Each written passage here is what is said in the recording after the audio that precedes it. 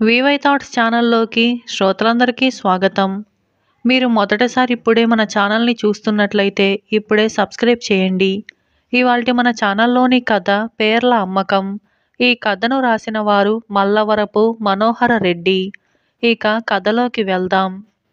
విజయపురి సంతలో ఒక ముసలివాడు ఒక మూలగా కూర్చొని పేర్లు అమ్ముతాను కొనండి బాబు విలువైన పేర్లు వెలకట్టలేని పేర్లు అని అదే పనిగా బిగ్గరగా అరుస్తూ అక్కడి జనం దృష్టిని ఆకర్షించసాగాడు. ఆ ముసలివాడి పేరు పోతురాజు.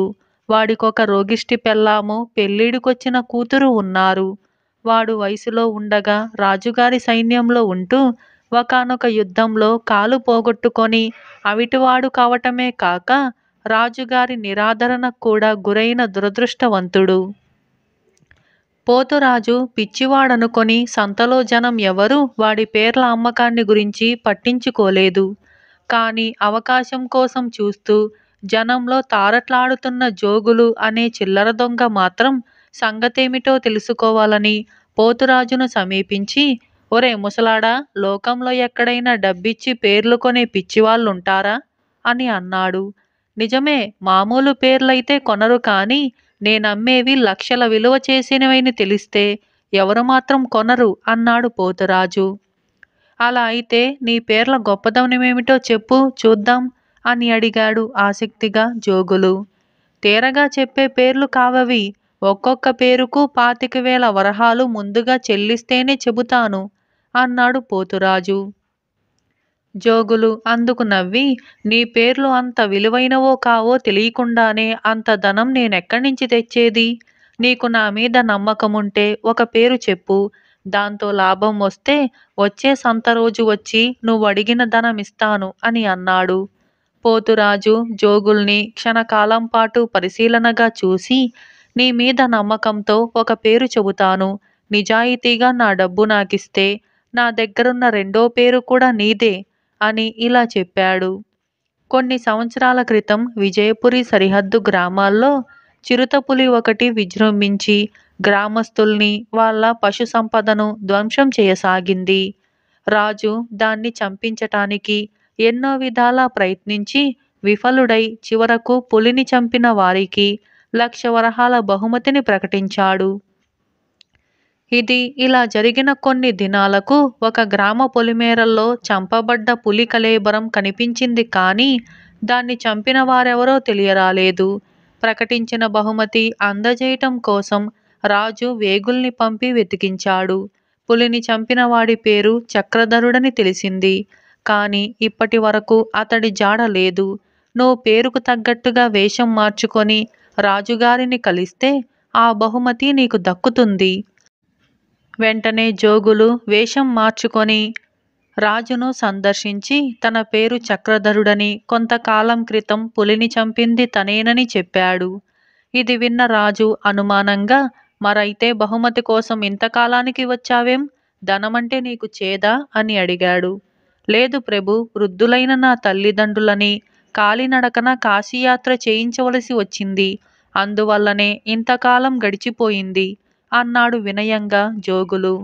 రాజు జోగుల్ని సన్మానించి లక్ష వరహాలు ఇచ్చాడు. ధనం చేతికి రాగానే జోగులకు పోతిరాజుకు చిల్లి గవ్వ కూడా ఇవ్వకుండా ఆ రెండో పేరు కూడా కాజేయాలన్న దురాలోచన కలిగింది. వాడు మరొక సంత రోజున పోతురాజును కలిసి నువ్వు చెప్పింది నిజమే. ఆ రెండో పేరు కూడా చెబితే పాతిక పరక ఎందుకు? వచ్చింది చెరిసగం పంచుకుందాం అని అన్నాడు. నువ్విస్తానన్న డబ్బుతో ముసలిదానికి వైద్యము నా బిడ్డకు పెళ్ళి చేయాలి. నీ మాటలు నమ్మి మోసపోతే నా కూతురి బ్రతుకు ఏ నుయ్యోగొయ్యో అవుతుంది అన్నాడు పోతురాజు. భలే వాడివే ఇంత సాయం చేస్తున్నావు అలాంటప్పుడు నీ బిడ్డ నా బిడ్డ కాదా ఏమిటి? అంటూ నమ్మబలికాడు జోగులు. అప్పుడు పోతురాజు ఇలా చెప్పాడు. పూర్వం ఐదు తరాలకు ముందు హిమాలయాల నుంచి మహాపాత్రుడు అనే మహాముని వచ్చి అప్పటి విజయపురి రాజును కలిసి ఏడు తరాల వరకు రాజ్యము రాజులు ప్రజలు సుభిక్షంగా ఉంటారని ఆశీర్వదించి వెళ్ళాడట. ఆయన వెళుతూ వెళుతూ మళ్ళీ ఐదు తరాల తరువాత తనే వచ్చి విజయపురి రాజును కలుస్తానని మాట ఇచ్చాడట. ఆ మహాపాత్రుడి ఆశీస్సుల వల్లనే విజయపురి సుభిక్షంగా ఉందని మళ్ళీ ఆ మహాముని తన తరంలోనే వచ్చి తన రాజ్యాన్ని పావనం చేస్తాడని మన మూఢమహారాజు ఎదురుతెన్నులు చేస్తున్నాడు. నువ్వు తగిన వేషంలో వెళ్ళి రాజును దర్శిస్తే అంతులేని కానుకలు లభిస్తాయి. వెంటనే జోగులు బయలుదేరి తెల్లటి ముగ్గుబుట్టలాంటి తలతో ఒంటి నిండా విభూది రేఖలు రుద్రాక్షలు ధరించి రాజును కలిసి తను హిమాలయాల నుంచి వస్తున్న మహాపాత్రుడినని చెప్పుకున్నాడు. రాజు పరమానందం చెంది వారం రోజుల పాటు రాజ్యమంతటా ఘనంగా వేడుకలు జరిపించి జోగులకు విలువైన కానుకలెన్నో సమర్పించుకొని సాగనంపాడు. ఆ కానుకల డబ్బుతో జోగులు నగరంలో ఒక అందమైన మేడ కొని పోతురాజు సంగతి గాలికి వదిలి విలాసంగా జీవించసాగాడు. కొన్ని దినాలు గడిచాక ఒకరోజు జోగులకు పోతురాజును గురించి తెలుసుకోవాలనిపించింది. వాడు సంతకు బయలుదేరాడు. ఎప్పటినుంచో వాడి కోసమే కాచుకు కూర్చున్న పోతురాజు జోగుల్ని చూసి కూడా చూడనట్టుగా నటిస్తూ పేర్లు అమ్ముతాను కొనండి బాబు విలువైన పేర్లు వెలకట్టలేని పేర్లు అని అరవసాగాడు. జోగులు అతన్ని సమీపించి ఒరే దొంగ ముసలాడా నీ దగ్గరున్నవి రెండే పేర్లని నన్నే మోసం చేస్తావా? అన్నాడు కోపంగా. పోతురాజు నవ్వి నువ్వు చేసిన మోసం కన్నా నేను చేసింది ఎక్కువేం కాదులే అని అన్నాడు. అయితే ఈసారి కూడా ఒక పేరు చెప్పు దేవుడి మీద ఒట్టు మోసం చెయ్యను. అన్నాడు జోగులు. బుద్ధుంటే నీకు పేర్లు అమ్ముతానా? అన్నాడు పోతురాజు కోపం నటిస్తూ. సరే నీ నమ్మకం కోసం ఒక పని చెయ్యి. ముందు పేరేమిటో చెప్పు తరువాత నాతో వచ్చి రాజుగారిచ్చే బహుమతి నువ్వే తీసుకో అన్నాడు జోగులు. పోతురాజును మళ్ళీ ఎలాగైనా మోసగించవచ్చనుకుంటూ. ఇందుకు పోతురాజు సరేనని రాజుగారితో నీ పేరు బలభద్రుడని చెప్పు. ఇందుకు నువ్వు వేషం మార్చవలసిన అవసరం కూడా లేదు. ఎందుచేతనంటే ఆ బలభద్రుణ్ణి గురించి రాజుగారు విన్నాడే తప్ప చూసి ఉండలేదు. పరాక్రమవంతుడైన అతడి పేరు వింటేనే రాజుగారికి హడలు. నీతో స్నేహం కోసం ఆయన నీకు గొప్ప సన్మానం చేస్తాడు అని చెప్పాడు. జోగులు నిండు సభలో రాజును కలిసి రాజా నేను మహాపరాక్రమవంతుడైన బలభద్రుణ్ణి అని అన్నాడు. రాజు ఒక్క క్షణం నిశ్చేత్తుడై పక్కనే ఉన్న మంత్రితో చిన్నగా తన యుద్ధ తంత్రాలు సైనిక రహస్యాలు శత్రువులకు చేరవేశాడని బలభద్రుడనే వాణ్ణి దేశం నుంచి బహిష్కరించాం కదా మళ్ళీ ఏ ధైర్యంతో వీడు మన ముందుకొచ్చాడు అని అన్నాడు. మంత్రి జోగుల్ని తేరిపారా చూసి మహారాజా వీడు బలభద్రుడు కాడు వాణ్ణి తమరెరుగరు కాని నేనెరుగుదును. వాడు తిరిగి మన దేశంలో ప్రవేశించాలని చూసి సరిహద్దు కాపలా భటుల వల్ల ఏనాడో వధించబడ్డాడు. అని జోగులుకేసి కల్లెర్ర చేసి ఒరేయ్ నువ్వు ఆ మధ్య ఏదో నేరం చేసి కొంతకాలం కారాగారంలో ఉండి విడుదలైన జోగులు అనే దొంగవు కదా? అని ప్రశ్నించాడు. ఆ ప్రశ్న వింటూనే జోగులు భయంతో గజగజలాడుతూ మన్నించండి ప్రభు ఇదంతా ఆ కుంటివాడి పన్నాగం అని అన్నాడు. ఎవరా కుంటివాడు? మహారాజులను మోసగించ చూస్తే ఉప్పు పాత్ర వేస్తామని తెలియదా వాడికి? అని గద్దించాడు మంత్రి. ఆ వెంటనే సభలో ఉన్న ఒక మూలకర్రన ఆసరాతో నిలబడి ఉన్న పోతురాజు ముందుకు వచ్చి రాజుతో మన్నించండి మహారాజా. ఒకప్పుడు తమ వద్ద సైనికుడిగా ఉండి యుద్ధంలో గాయపడి అవిటివాణ్ణయ్యాను అని తన కుటుంబ దీనస్థితి చెప్పుకొని మరే దారి లేక ఈ జోగుల్ని తమ వద్దకు చక్రధరుడిగా మహాపాత్రుడిగా పంపాను. అయితే వీడు నన్ను మోసం చేశాడు. తమ దర్శనం చేసుకునేటందుకు మార్గమేమిటా అని ఆలోచించి చివరకు వీణ్ణి బలభద్రుడి పేరుతో పంపాను. దానితో వీడు దొరికిపోవటం నాకు తమ దర్శన భాగ్యం కలగటం జరిగింది అని అన్నాడు. రాజుకు పోతురాజు చెప్పింది విన్నాక దేశంలో అంగవైకల్యానికి గురైన మరెందరో సైనికులు ఉంటారన్న నిజం తెలియవచ్చింది. ఆయన వెంటనే పోతురాజుతో పాటు అలాంటి వాళ్ళందరికీ నెలభృతి ఏర్పాటు చేస్తూ ఆజ్ఞలు జారీ చేశాడు. తరువాత ఆయన ఒకసారి కారాగార శిక్ష అనుభవించి కూడా తిరిగి మోసాలకు పాల్పడిన జోగులకు ఐదేళ్ళ కఠిన కారాగార శిక్ష విధించాడు. ఇలా పేర్ల అమ్మకం అనే ఈ కథ సమాప్తమైంది. ఒక గ్రామంలో ఒక భూస్వామి ఉండేవాడు. ఆయనకిద్దరు కొడుకులు. వాళ్ళిద్దరూ అస్తమానము ప్రతి చిన్న విషయానికి పోట్లాడుకునేవారు. తాను చచ్చిపోయాక ఆస్తి పంపకాల దగ్గర వాళ్ళు ఎంతగా తగాదా పడతారోనని ముసలితనం వచ్చిన భూస్వామి తాను బ్రతికి ఉండగానే ఇద్దరికీ తన ఆస్తిని సమంగా పంచాలని నిర్ణయించాడు. ఆయన తనకున్నదంతా ఇద్దరికీ సమంగా పంచాడు. కొడుకులిద్దరూ సమ్మతించారు కూడా. అయితే ఒక వజ్రం దిగబడిపోయింది. ఆ వజ్రం వారి వంశంలో అనేక తరాలుగా ఉంటుంది. అది పెద్ద కొడుకు వద్ద ఉండటం ఆచారం. దాన్ని అమ్మరాదు దానం చేయరాదు. అందుచేత భూస్వామి దాన్ని తన పెద్ద కొడుకుకిస్తానని అన్నాడు. కానీ అందుకు రెండోవాడు ఒప్పుకోలేదు. అది నా ఇంటనే ఉండాలి నేనే దాన్ని మరొక తరానికి అందజేస్తాను అని అన్నాడు రెండోవాడు పెద్దవాడు అందుకు సమ్మతించలేదు. ఇద్దరు తగాదా పడ్డారు. వాళ్ళు తగాదా పరిష్కారం కావటానికి తండ్రి ఒక నియమం పెట్టాడు. మీరిద్దరూ ఏ దేశానికైనా వెళ్ళి మీ ఇష్టం వచ్చిన విద్యల్లో ప్రావీణులై రండి. మీలో ఎవరి ప్రావీణ్యం హెచ్చైతే వారికి వజ్రం ఇస్తాను అని ఆయన అన్నాడు. అన్నదమ్ములిద్దరూ బయలుదేరి చెరొక దారిన చెరొక దేశము వెళ్ళారు. ఐదేళ్ళ కాలంలో పెద్దవాడు జ్యోతిష్యంలో నిపుణుడయ్యాడు. చిన్నవాడు రణవిద్యలో ఆరితేరాడు. ఐదేళ్ళు నిండుతూనే ఆ ఇద్దరు ఇంటికి తిరిగి వచ్చారు. అయితే వారు ఇల్లు చేరుకునే సమయానికి ఇంటి వద్ద పరిస్థితి అంతా తారుమారయింది. వారు రావటానికి కొద్ది రోజులు ముందుగానే బందిపోటు దొంగలు వచ్చి పడి ఇంట్లో ఉండే సొత్తంతా వజ్రంతో సహా కాజేసుకుపోయారు భూస్వామి దిగులుతో మంచం పట్టాడు. తన కొడుకులిద్దరిలో ఎవరు ప్రావీణులో గొప్పదో విచారించే స్థితిలో ఆయన లేడు. పెద్దవాడు జ్యోతిష్యుడు కనుక బందిపోటు వచ్చిన తిథి వార నక్షత్రాలు అడిగి తెలుసుకొని తన తమ్ముడితో ఈ బందిపోటు దొంగలు ఈశాన్య దిక్కున ఉండే ఒక అరణ్యం నుంచి వచ్చారు. ఆ అరణ్యం పిశాచాలకు స్థావరమైంది.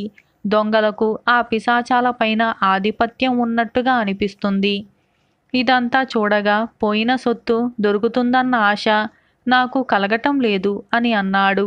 కానీ రణ విద్యలో ఆరితేరి వచ్చిన చిన్నవాడు దొంగలను అంత తేలికగా వదలదలుచుకోలేదు. తన అన్న చెప్పిన మాటలు నమ్మి అతను ఈశాన్య దిశగా బయలుదేరాడు. పోగా పోగా ఒక అరణ్యం వచ్చింది. ఆ అరణ్యంలో బ్రహ్మ రాక్షసులుంటారని ఆ ప్రాంతాల వాళ్ళు చెప్పారు. అందులోనే దొంగలు కూడా ఉంటారని వారు దోచుకుపోయిన సొత్తంతా అక్కడే ఉంటుందని అతనికి నమ్మకం కుదిరింది. ఆ అరణ్యంలో ప్రవేశించటం ప్రమాదమని అందులోకి వెళ్ళి ఎందరో ప్రాణాలు పోగొట్టుకున్నారని విని చిన్నవాడు భయపడలేదు. ప్రమాదం పిశాచాల వల్ల కలిగే పక్షంలో దొంగలు ఆ అరణ్యంలో ఎలా ఉంటున్నారు? దొంగలు చేసిన పాటి పని తాను చేయలేడా? ప్రమాదం దొంగల వల్లనైతే తన వద్ద కరవాలం ఉండనే ఉంది. దొంగలను చంపటానికే కదా తాను వచ్చింది? అలాంటప్పుడు దొంగలకు భయపడి అరణ్యంలో ప్రవేశించకపోవటంలో అర్థమేముంటుంది? అరణ్యంలో మొదట ఏమీ కనిపించలేదు కానీ వికృతమైన ధ్వనులు వినిపించాయి. చిన్నవాడు వాటిని లక్ష్య పెట్టలేదు కొంతసేపు అయ్యాక పిశాచాలు వికృతాకారాలతో అక్కడక్కడ కనిపించసాగాయి. అతను కత్తి దూసి వాటిని చంపటానికి యత్నించగా అవి మాయమవుతూ వచ్చాయి. పిశాచాల్లారా మీ ఆటలు నా దగ్గర సాగవు. ఈ వనంలో దొంగలెక్కడ ఉంటున్నారో చెప్పండి. లేకపోతే మిమ్మల్ని నా కత్తితో చిత్రవద చేస్తాను అని అన్నాడతను. వెంటనే పిశాచాలు మాటు మణిగాయి. అవి మరి కనిపించలేదు. వాటి అలికిడి వినిపించలేదు. చిన్నవాడికి ఆకలి అయింది. తాత్కాలికంగా పిశాచాలు తనను వదిలి వెళ్ళిపోయినట్టుగా తోచి అతను ఒక చెట్టు కింద కూర్చొని తన కత్తి పక్కన పెట్టుకొని తాను తెచ్చుకున్న మూట విప్పి అందులో ఉన్న ఆహారం తినసాగాడు. ఆ సమయంలో ఒక పిశాచం అదృశ్యంగా వెనక నుంచి వచ్చి అతని పక్కన ఉన్న కత్తి తీసుకొని పోయి దాన్ని తమ నాయకుడికిచ్చింది. కత్తి లేదు కనుక ఇంకా ఆ మనిషి మనల్నేమీ చేయలేడు. మనం వాణ్ణి చూసి భయపడం మనల్ని చూసి వాడే భయపడతాడు అని అన్నాడు పిశాచాల నాయకుడు. చిన్నవాడు భోజనం పూర్తి చేసి తన కత్తిపోయిన సంగతి తెలుసుకొని పిశాచాలే ఈ పని చేశాయని గ్రహించాడు. వాటిని మోసపుచ్చటానికి ఒక ఎత్తు ఆలోచించి అతను అరణ్యం దాటి యువతలకి వచ్చేశాడు. అతను వెళ్ళిపోవటం గమనిస్తూ ఉండిన పిశాచాలు విజయగర్వంతో గంతులు వేశాయి. చీకటి పడింది పిశాచాలు రకరకాల రూపాలు ధరించి నాట్యం ప్రారంభించాయి. పట్టపగలు తమను చూసి భయపడి వెళ్ళిపోయిన వాడు రాత్రి చీకటిలో తాముండే చోటికి తిరిగి వస్తాడని పిశాచాలకు తట్టలేదు. కానీ చిన్నవాడు అవి నృత్యాలు చేస్తున్న చోటికి చల్లని గుడ్డ ముసుగు వేసుకొని వచ్చాడు. అతని కత్తిని ఒకదానికొకటి అందిస్తూ పిశాచాలు పరమానందంతో నృత్యం చేస్తున్నాయి. చిన్నవాడు కొంతసేపు ఆ పిశాచాలతో కలిసి నృత్యం చేశాక తన కత్తి వాడి చేతికి వచ్చింది. వెంటనే అతను కత్తి చేత పట్టుకొని పిశాచార నాయకుడి మీదికి ఉరికి వాడి గడ్డం రెండో చేత్తో పట్టుకొని కత్తితో ఒక్క వేటున గడ్డాన్ని కోసేశాడు. పిశాచాల నాయకుడు పెద్ద కేక పెట్టి అయ్యో అయ్యో నా వెంట్రుకలు అని అరిచాడు. పిశాచాలన్నీ స్తంభించిపోయాయి. పిశాచాలు ఎందుకలా కంగారులో పడింది వాడికి అర్థం కాలేదు. పిశాచాల నాయకుడు చేతులు జోడించి బాబు బాబు నా గడ్డం వెంట్రుకలు నాకిచ్చేయి. బందిపోటు దొంగల నాయకుడు నా గడ్డం వెంట్రుక ఒక్కటే సంపాదించి నన్ను నా పరివారాన్ని తనకు బానిసలుగా చేసుకొని నానా తిప్పలు పెడుతున్నాడు. నీ చేతిలో అన్ని వెంట్రుకలుంటే ఇక మా కతి కుక్క బ్రతికే అని అన్నాడు. మిమ్మల్ని బానిసలుగా ఉంచుకోవాలన్న కోరిక నాకే కోశానా లేదు. నాకు కావలసింది ఆ దొంగలు ఉండే రహస్య ప్రదేశం. నాకు వాళ్ళను చూపించారా? మీకందరికీ ఆ దొంగల నాయకుడి పీడ లేకుండా చేసేస్తాను. అందుచేత నాకు ఈ కాస్త సాయం చెయ్యండి ఆ తరువాత మిమ్మల్ని శాసించేవాడు ఉండడు అని చిన్నవాడు పిశాచాలకు నచ్చజెప్పాడు. ఆ రాత్రి దొంగలు దొంగతనానికి వెళ్ళారు. తెల్లవారి వస్తారు. నాయకుడితో సహా పది మంది దొంగలు. ఈ విషయాలు చెప్పి పిశాచాల నాయకుడు చిన్నవాణ్ణి దొంగలు ఉండే భూగృహం వద్దకు తీసుకుపోయాడు. చిన్నవాడు అక్కడ ఒక చెట్టు చాటున దాగి ఉన్నాడు. తెల్లవారుతుండగా దొంగలు సొత్తుతో వచ్చారు. చేతిలో ఉన్న రహస్యమైన తలుపు ఎత్తి మెట్లు దిగి పది మంది కిందికి వెళ్ళిపోయారు. వాళ్ళ సొత్తంతా లోపల దాచి మెట్ల మీదుగా పైకి వచ్చేటప్పుడు చిన్నవాడు తన కత్తితో ఒక్కొక్కడి తల నిశ్శబ్దంగా నరికేశాడు. ఇలా పది మంది దొంగలు చచ్చాక చిన్నవాడు భూగృహంలోకి దిగి అక్కడ ఉన్న ధనరాశులన్నీ చూశాడు. అందులో తమ సొత్తంతా వజ్రంతో సహా ఉన్నది. తరువాత అతను రాజుగారి వద్దకు వెళ్ళి తాను బందిపోట్లను హతమార్చిన సంగతి తెలిపి వాళ్ళు దోచిన సొత్తుండే చోటు చూపుతానని అందులో తమ సొత్తు తాను తీసుకుంటానని మిగిలింది రాజుగారు న్యాయంగా అసలు వాళ్ళకివ్వమని చెప్పాడు. రాజభటులు అతని వెంట వెళ్ళి భూగృహంలోని సొత్తంతా రాజభవనానికి చేరవేశారు. రాజుగారి అనుమతితో చిన్నవాడు తమ సొత్తును తన వెంట పెట్టుకొని ఇంటికి వచ్చేశాడు. పోయిన సొత్తు తిరిగి దొరకగానే భూస్వామి మనస్సు తేలికపడి లేచి కూర్చున్నాడు. ఆయన తన కొడుకులను పిలిచి ఇంతకు ఆ వజ్రం మీలో ఎవరికి చెందేటట్టు? ఆ తగాత అలాగే ఉండిపోయింది కదా అని అన్నాడు. దానికి తగాదా ఎందుకు? అది పెద్దవాడికి చెందటమే ఆచారంగా వస్తున్నది కనుక అన్న దగ్గరే ఉంచండి అని అన్నాడు చిన్నవాడు. విద్యలు నేర్చి ప్రయోజకుడైనాక వాడికి విశాల దృక్పథం ఏర్పడింది. ఇలా ఈ విధంగా ఈ కథ సమాప్తమైంది. తీరిన తగాదా అనే ఈ కథ మీకు నచ్చిందా? అయితే ఇప్పుడే మన ఛానల్ని లైక్ చేయండి షేర్ చేయండి సబ్స్క్రైబ్ చేయండి. Thank you for watching.